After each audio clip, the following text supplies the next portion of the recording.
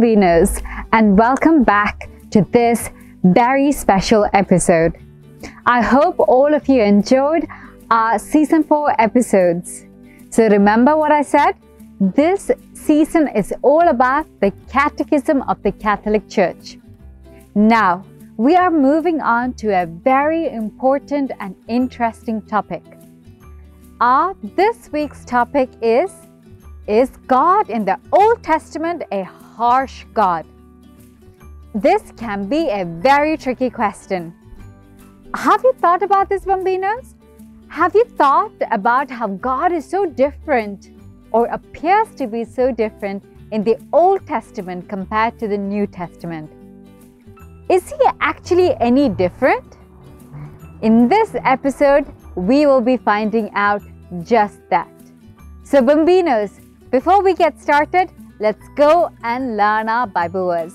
Are you guys ready to do this with me? Let's do this, Bambinos, together. One, two, three. Here we go, Bambinos. Let's go and learn our Bible words.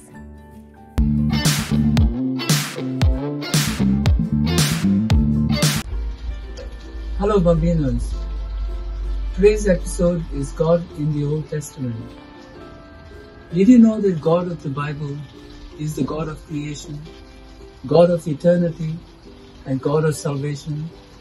And is also referred to as the God of Abraham, God of Isaac, and God of Jacob, as it is mentioned in, in Exodus 6 verses 3 and 4. The account of the book of the Exodus is now re- re- referenced in the New Testament in Acts 7 verse 31, where God in the Old Testament is Jesus in the New Testament. God said to Moses, I am that I am. God is the only one who can say, I am. He is the great I am. He is very present help in times of trouble. For he said, I will never leave you nor forsake you. Our God is not just the God of the past or of the future. He is the God of the present. That means God wants to do something in our lives today.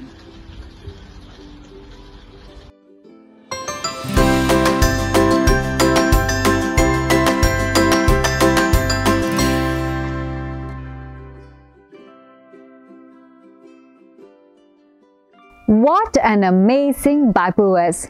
Bambinos, please remember to remember it and learn it by the end of our episode.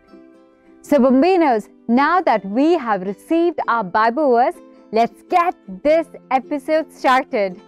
I know I am so excited and I hope you are too. So, Bambinos, let's first go and listen to our story. Bambinos, let's have you on your feet and let's do this, Bambinos. One, two, three. Here we go, Bambinos. Let's go and listen to our story.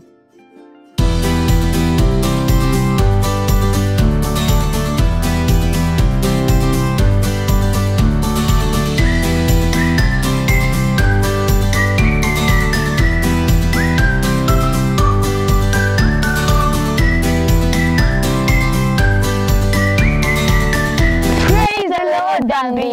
How are you doing today? Many of us think that the God of the New Testament was very loving and kind, but the God of the Old Testament was very cruel and harsh. What do you think, Bambinos? Was the God of the Old Testament really that cruel and harsh?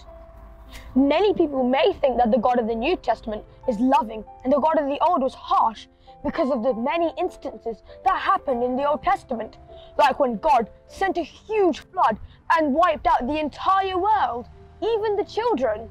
This may question your faith, but don't let it. Instead, say these things if anybody ever asks you these questions. Noah and the flood. When the flood was caused, don't just think that it was one cause and God didn't give them any chances. I know when the flood was there, there might have been many, many children during the action. And when God had taken over the whole world in the flood, there must have been countable amounts of children. But nowadays, it's children that are doing more violence than the parents, not the parents doing more violence than the children. And of course, surely, God did give them chances. This is the words that atheists would normally say, or non Christians. That when God caused the flood, did he not think of the children there? God did give them many chances. In the Bible, it says, Those who call evil good and good evil, woe to them. And those who call bitter sweet and sweet bitter, woe to them.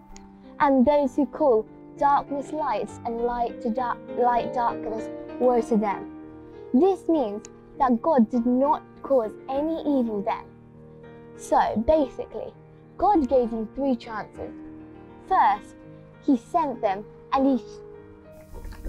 Noah and the Ark. Have you ever thought so deep into Noah and the Ark?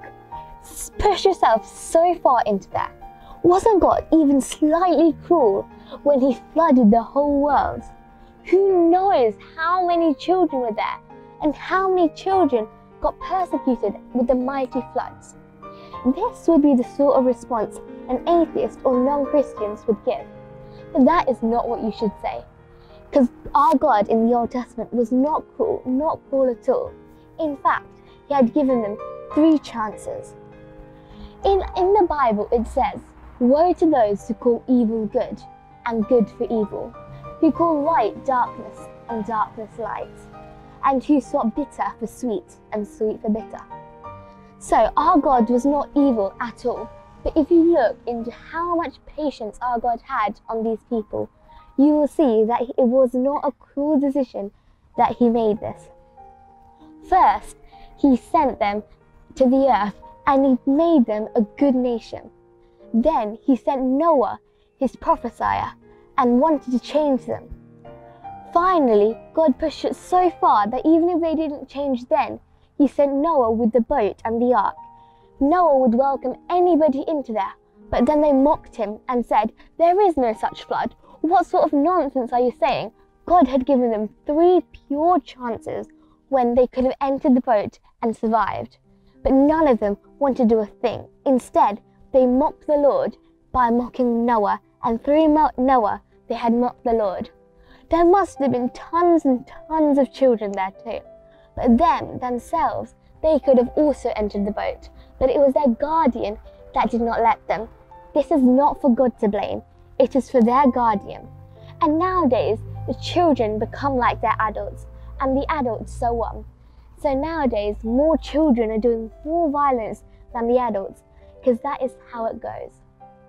So God was very, very patient on them, with a huge amount of patience on them, to make sure about this final deal that God had made. So do not think that the Lord did this without any chance. He did give them chances, and they disobeyed these chances and took them for granted. That is the only reason that they did not survive the flood.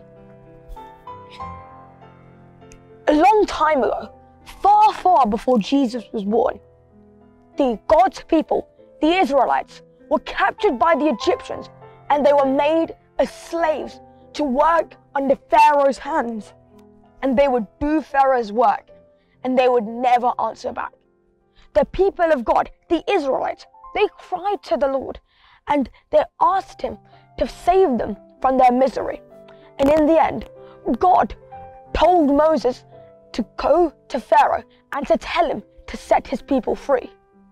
And now you may think, wait a minute, isn't that the time when God sent the angel of death to kill all the firstborn in the land of Egypt? That may that might sound cruel, but really, this isn't God's fault. Don't blame it on him. Continuing with the story, Moses came in and said to Pharaoh, Let my people go. But again and again, Pharaoh mocked God repeatedly and said to Moses, No, I will not let your people go. In the end, Moses said to Pharaoh that there will be 10 plagues, and each plague meant that you were getting one more step closer to the final test. And then all the plagues started to come in. There were frogs, the death of the cattle, there were locusts and lice. And then in the end, the tenth plague was the murdering of the firstborn in the land of Egypt in every household. The only ones that were spared were the ones that put the blood of the lamb on the doorposts and ate the Passover feast. Now, this might sound cruel, but if you think about it, there were so many chances. God already sent nine plagues, but still, Pharaoh was arrogant and he thought that he was better than God. He, God sent nine plagues, and before that, he already told Moses to tell him. And Moses must have told him multiple and many times.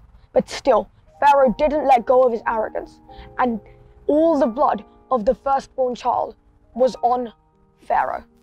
It was all his fault. If only he just listened to God, then none of this would ever have happened. Adam and Eve. When God created the world, he did this with pure love, and this was all in mind in the Old Testament. When he created the world, he created Adam and many plants and bushes and all sorts of fruit. To make Adam happy, he gave Adam everything he wanted in the most beautiful garden, the Garden of Eden. They had many bushes, roses, fruits, flowers, vegetables, so many things. But God gave Adam one rule that he could not eat from the tree of knowledge of good and evil. Lest you eat that, you will die. To make Adam even more happy, he gave him a wife named Eve. Then they could do anything they wanted. God held nothing away from them except from one single tree. One root of a tree did God keep from him, which was nothing compared to the size of that whole garden. That one tree was what caused them into misery. God had already told them the coincidences, what would happen if they ate, ate of that fruit, and they still did. Eve, knowing what would happen, from Genesis 2, verse 17, it says, If you eat from the tree of knowledge of good and evil, you will die. Eve knew those words from God, and then, anyways, she ate of the fruit. There was so many chances that God had given her, so many things to make her happy, everything she had wanted. But then she had to disobey God in the one thing she didn't want him to do. So anyways, God was not cruel at all for kicking them out of the garden. God had said that he would kill them, but he had mercy on them and only banished them from the Garden of Eden. So God still had pity on his servants and did not do as much harm as he said. God was pure full mercy and had so much mercy on them before doing this act. So the God of the Old Testament is definitely not as harsh as you would see with a blank mind. The most obvious one is about heaven and hell. Many people think if God is such a loving God, if He's so kind, so merciful, so lovely and beautiful, why would He send His own people that He made into a place of fire, hell? Why would He do that if He was so loving and kind? I'm a tiny bit confused. Isn't that cruel and harsh? But then if you think about it, God said that if you disobey me, you will be apart from me. And every time someone sins, God doesn't cause them to sin. They sin on their own accord. They choose to sin. They want to be away from God when they sin. They didn't say, oh, I just feel like sinning. They chose to do it themselves. God didn't make them. And people think that God is so loving and so merciful. Wouldn't you just send everyone to heaven and there's no hell then? Because if he's so kind and loving, he'll just send everyone to heaven. But no, God is loving, merciful, but he is also very just. That means he will provide people what they deserve based on what they have done.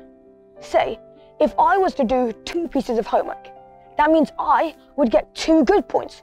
But if the person next to me only did one piece of homework, that means they would only get one point. See? That means if the person did no homework, that means they would get no points. They can't just say, oh, well, they're all students and I'm very kind, so I'm going to give all of them two points. That's not fair because then the person that did the homework just did it for nothing. That isn't really fair. That is why God has to be just and punish people based on their sins. So, if anyone says that God is cruel because he sends people to hell, no, God doesn't send people to hell. People send themselves to hell by doing sin against God. God had also given these people 120 years to change. He had given them the prophets, the saints, and so many others. In the Bible, it, it writes, I will not abide in men forever, but for 120 years I will abide in men. So God had given them many chances for them then to fall into sin and go to hell. Many prophets had came. Hmm. There was many, there was Google, there was so many things. There's the Bible. You can read straight out of that. And even if you don't have it, there is Google. You can get so much things off that about the prophets and the saints, and then you could have not committed sin. Especially when you know that you are sinning on purpose. And then, yet, you do the sin. What, do, what should God do? What, sh- sh- should He just send you to heaven? No, He has to send you to your just place.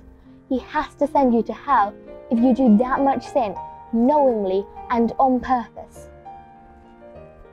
So, Bambinos, now what do you think about God?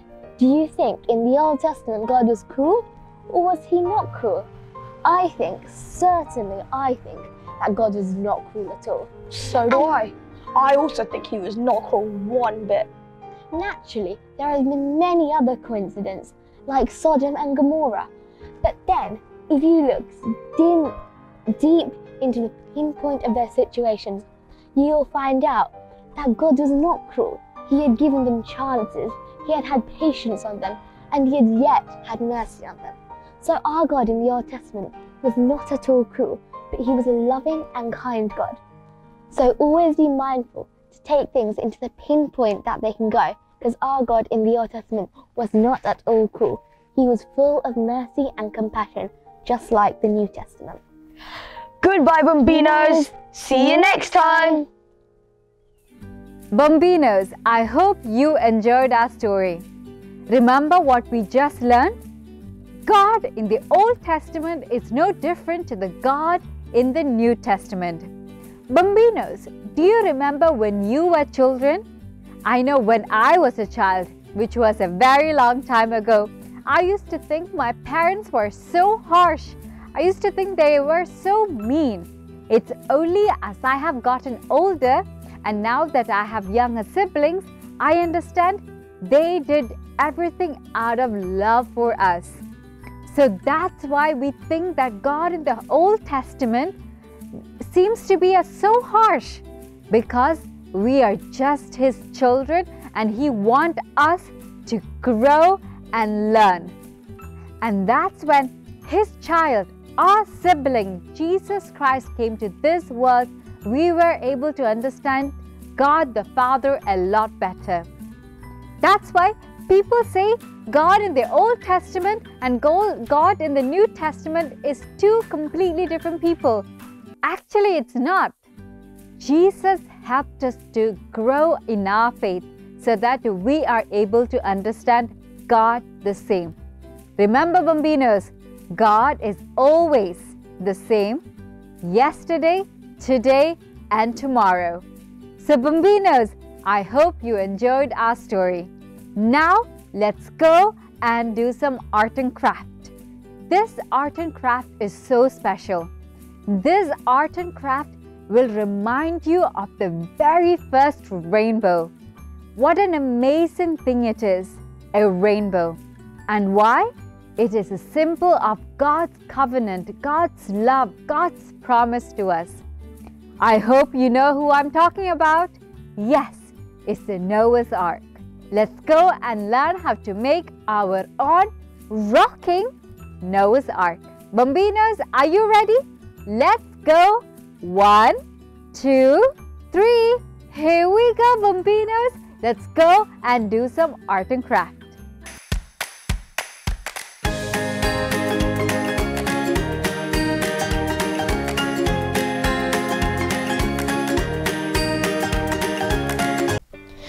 Bambinos. Do you remember the pact that God made with Noah? He promised not to flood the world ever again. So, do you guys remember Noah's Ark? Well, guess what we're making today? It's Noah's Ark. For this art and craft, you will need a paper plate, yellow paper, white paper, and pink paper. We'll also need brown paper, but we didn't have brown paper, so we painted some white paper brown. You will also need some PVA glue, a pencil, um, something to color with, brown and blue. But in this instant, uh, I'm using a brown crayon and a blue felt tip. And lastly, you will need scissors. So let's get started.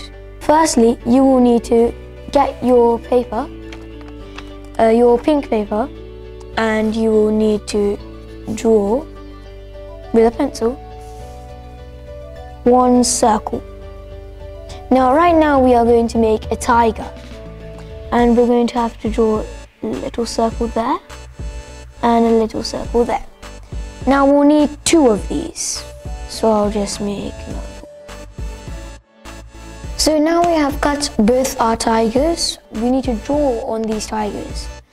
So first we're going to do a gentle, slowly, just to mark the ears.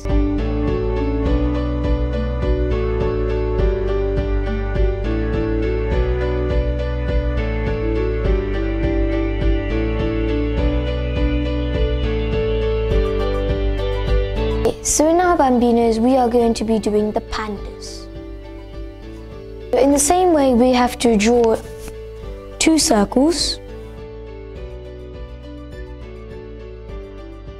Now we have to get our felt tip and we have to draw this.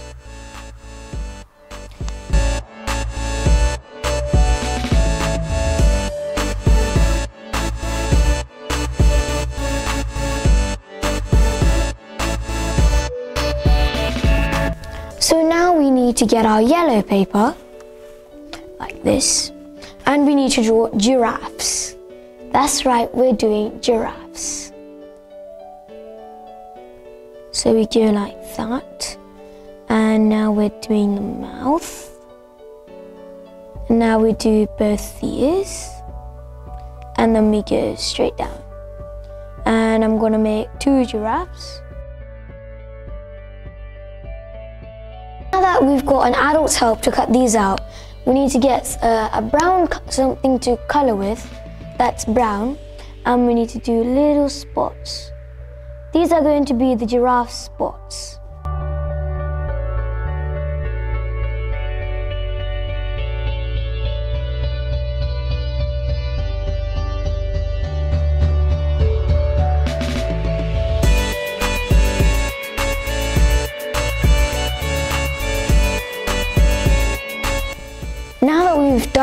Our, all our animals, we need to move these away. And next we're going to do our rainbow. And we just need to draw a rough semicircle like this. And this is going to be the outside of our rainbow. And then we're going to do a little bit of the inside. So next we need to color our rainbow. Now that we've colored our rainbow, we need to take our paper plate, fold it, and put this paper, uh, this brown paper on.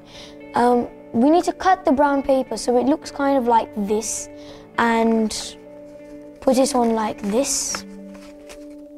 And we need to get it like that. And after this, we need to stick it on using PVA glue.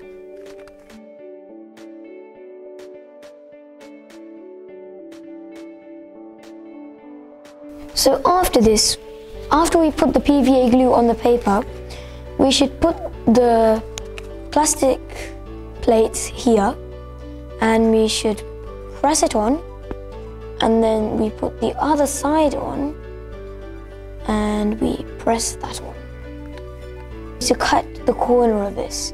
Now we've stuck it in and cut it, we need to get a brown crayon. Right now I'm using a brown crayon. You can use paint or anything else and draw lines like these. Because this is the ark, so this is the wooden planks that hold the ark together. And we're going to stop there and then we're going to do lines like that.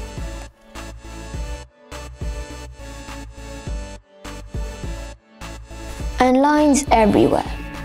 And after that, the bottom bit, we're going to be, colouring it blue to represent the water.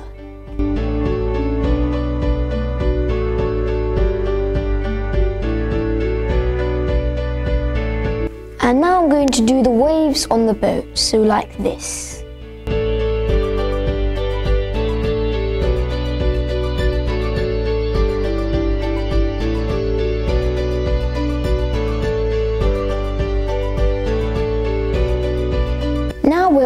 Done. So now we have to stick on all our animals. Firstly, I'm doing the giraffes.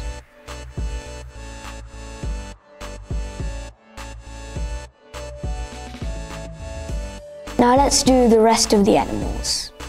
All the animals have two of each because uh, the Lord sent two by two of each animal. Lastly, we have to stick on the rainbow, which represents the pact with Noah of God, and that he will never flood the whole world again. So we get it ready and we just put it upside down. And there we go, Bambinos. That's our rocking boat done. I hope you enjoyed today's art and craft and learned how to make this awesome ark. Bye bye, Bambinos. Bambinos, what an amazing rocking art! Bambinos, I cannot wait to see all your lovely works. Bambinos, now let's go and listen to our saint. I wonder which saint we are going to be learning about this time. Bambinos, let's do this together. One, two, three. Here we go, Bambinos. Let's go and learn about our saint.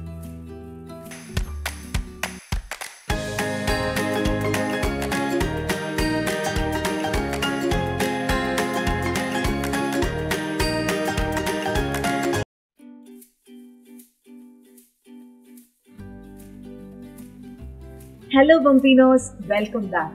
This week I'm going to tell you about a saint who is known as the only doctor of church in UK. Do you know who it is? It is Saint Bede. Saint Bede was born in the year 673 on the lands of the monastery of Saint Paul at Jarrow in Northumbria, which is now known as Tyne and Wear. At the age of seven, he was sent to Benedictine monastery and joined with Abbot Ceolfrith at Jarrow and later he joined with this. And there was a tradition that during a plague which was spreading all over England, Saint Ceolfrith Abbey and the young Bede was the only person. They were they both were leading the services. Not even any persons other than other than them were was leading the services. At the age of 19, Bede was ordained to be deaconate by Saint John Bishop of York, and later that he accepted priesthood by the same Polycarp. When he was 30 years old, from receiving his priesthood and till the 59th year of his age, he was very dedicated in prayers. He was observed with the regular disciplines and sung in churches for daily services, and he was also indulged in studying, writing, and teaching. In addition to the 25 commentaries in the Holy Scriptures, he wrote his famous History of English. And he also wrote about the lives of several English saints. In 701, Bede wrote his first work, and after that, he, he completed around 60 holy books. Except from a few visits to other monasteries, his life was spent in a round of prayers, observance of monastic scriptures, and several studies. He was considered as the most learned man of his time and wrote many excellent biblical and historical books. Bede died on the feast of Ascension on 26th May 735 and he was his last words was glory be to the Father to the Son and the Holy Spirit. Bede's remains has been transferred to Durham Cathedral in the 11th century. His tomb was then looted in 1548, but the contents were transferred and re-interred in the Galilee Chapel at Cathedral. His scholarships and importance to Catholicism was recognized in 1899 and was declared him as the Doctor of the Church. His feast day was celebrated on two days. According to Western scriptures, it was celebrated on 25th May. According to English scriptures, it is celebrated on 27th May. And he became the only doctor of church in India. And Bambinos, remember all the facts that I have said about Saint Bede. Next week, we will meet you with another saint. Bye bye, Bambinos.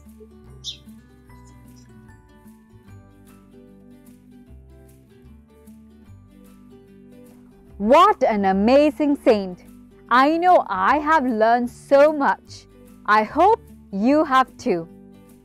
Bambinos, now that we have heard about our saint, let's stretch out our hands and our legs and let's get dancing. I am so excited to move all my body and let's go and worship and dance for the Lord together. Bambinos, come on, join us. One, two, three. Here we go, Bambinos. Let's go and do some dancing.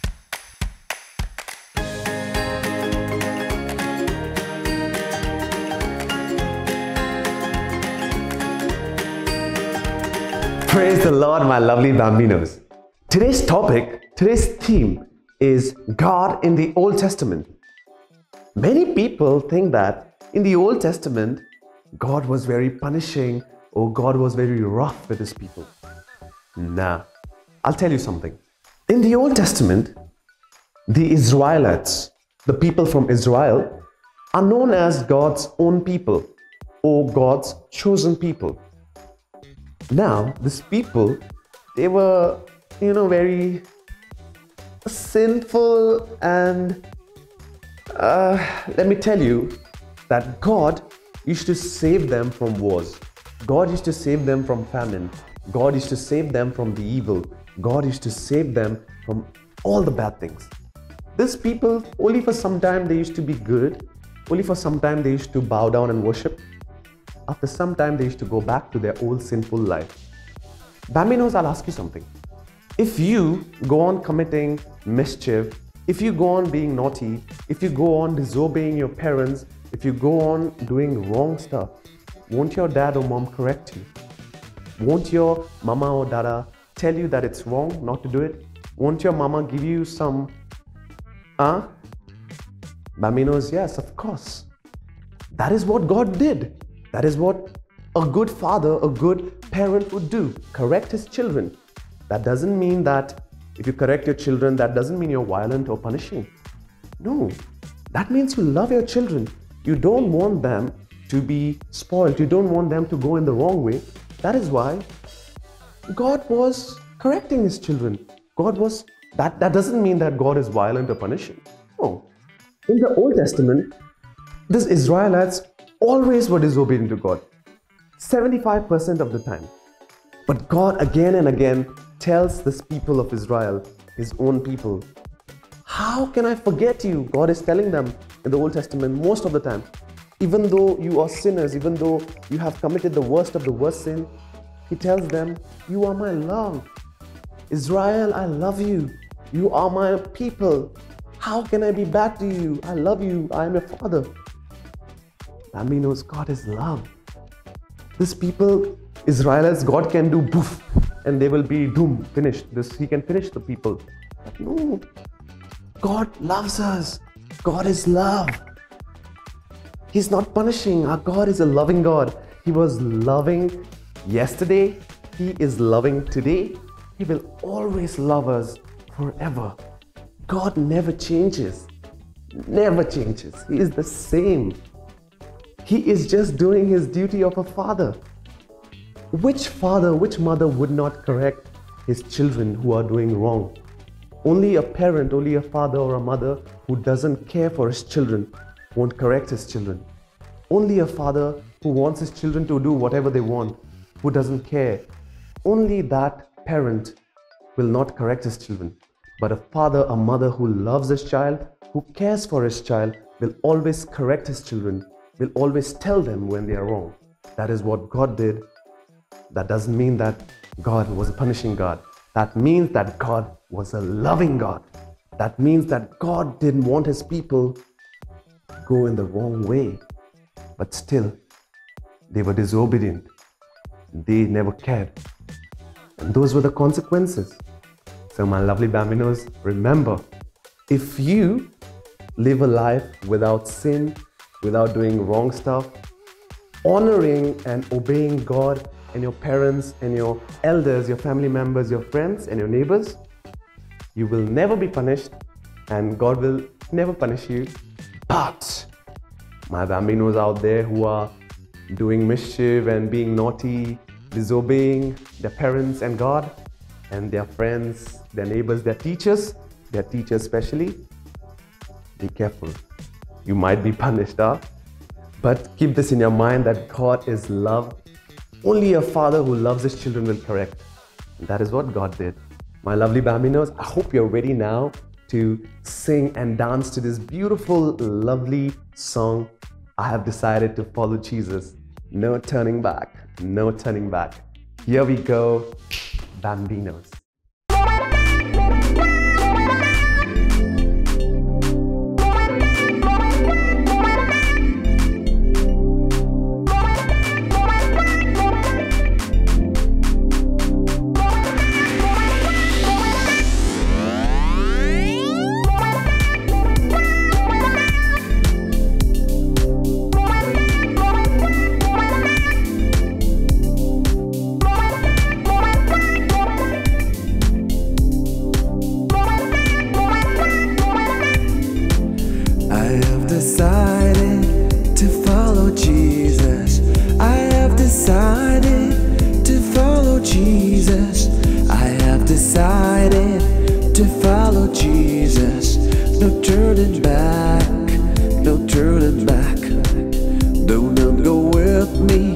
Still I will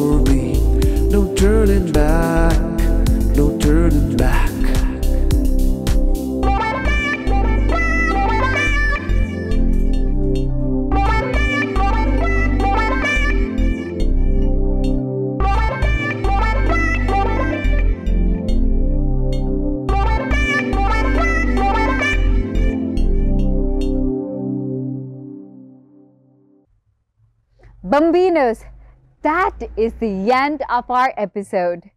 But before we get going, we must go and receive our final prayer.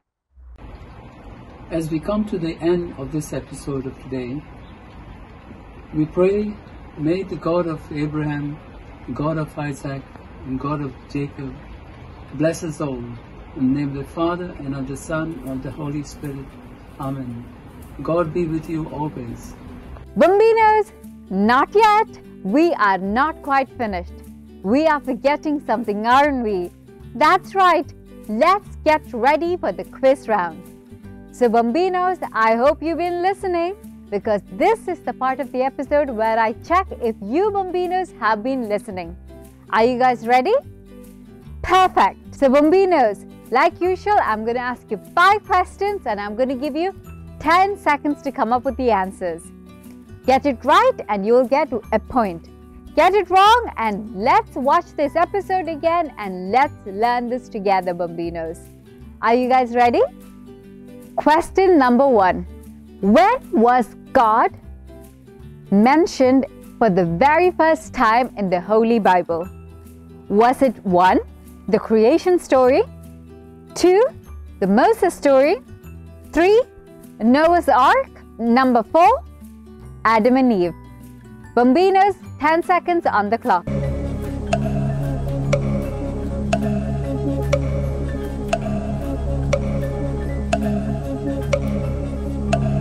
Bambinos, the correct answer is the creation story. Well done you if you got that correct. Are you guys ready for question number two? Question number two. How did God appear to Moses? Was it one, as tongues of fire, two, water, three, burning bush, or number four, as a snake? Bambinos, 10 seconds on the clock.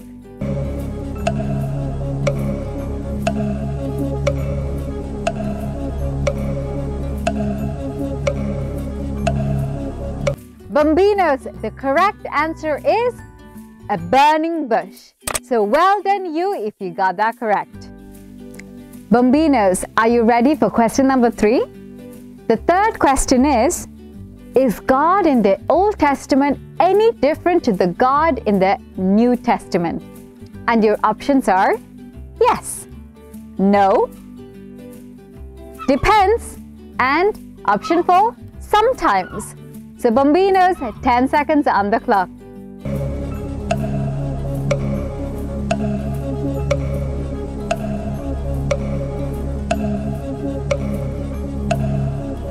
Bambinos, the correct answer is no. Well done, you. Bambinos, God is always the same.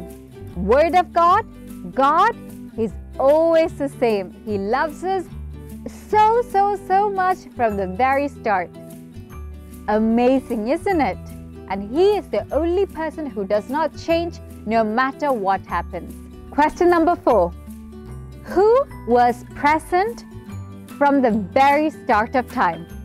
Was it A, God the Father, B, God the Son, C, God the Spirit, or 4, all of them? Bambinos, 10 seconds on the clock.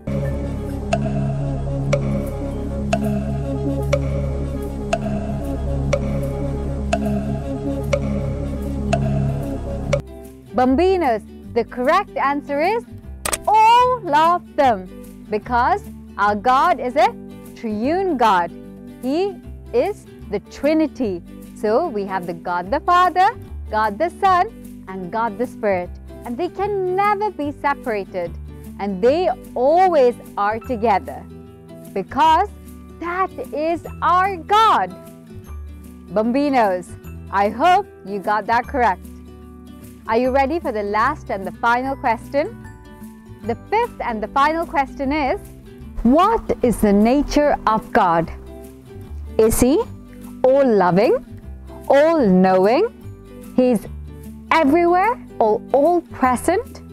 Is He all powerful or is He all of the above? 10 seconds on the clock.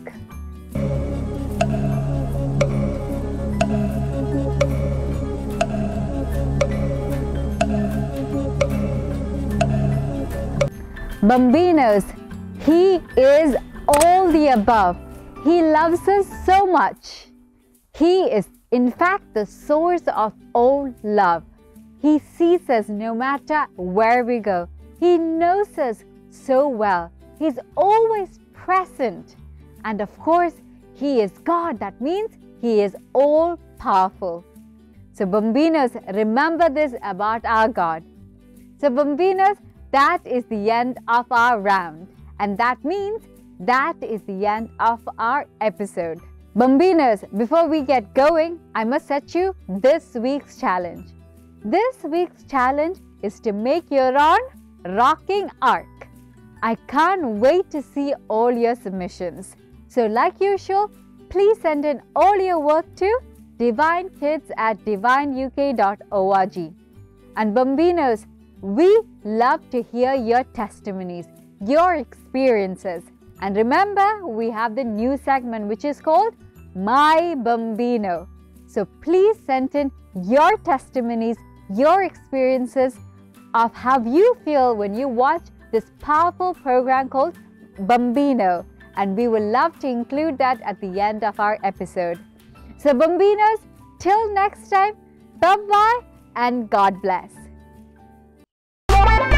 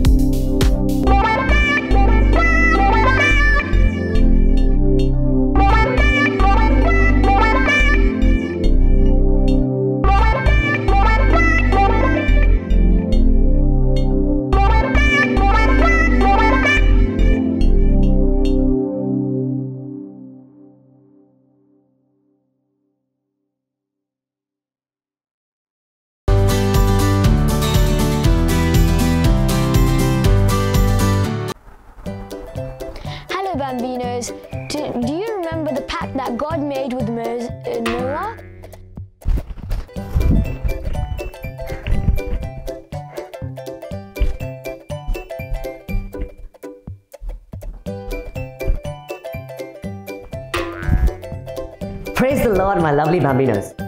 Today's topic, today's theme is God.